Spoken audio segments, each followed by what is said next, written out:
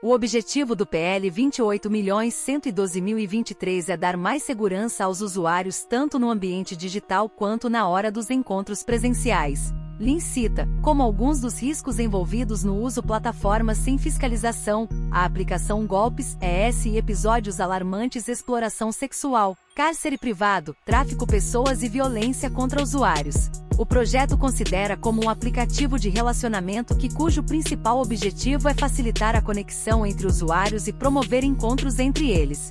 O texto, no entanto, não menciona nominalmente nenhuma plataforma como Tinder, Bumble ou Happn.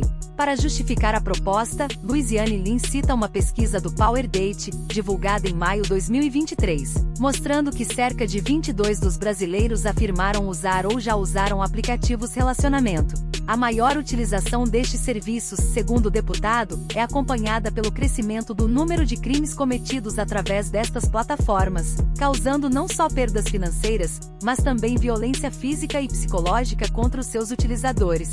Entre as medidas que o projeto pretende implementar estão verificação da identidade de seus usuários, criação sistemas detecção e bloqueio atividades falsas, abusivas ou promotoras ilícitos. Caso sejam identificados, devem ser excluídos pelas plataformas, sensibilização dos canais de comunicação para que os usuários possam denunciar condutas indesejadas, abusivas ou criminosas, implementação de medidas educativas sobre segurança e prevenção da criminalidade. Ainda está previsto no texto que, em caso de descumprimento das regras, os pedidos estariam sujeitos à advertência, multa e até suspensão temporária das atividades. O projeto ainda precisa tramitar na Câmara dos Deputados.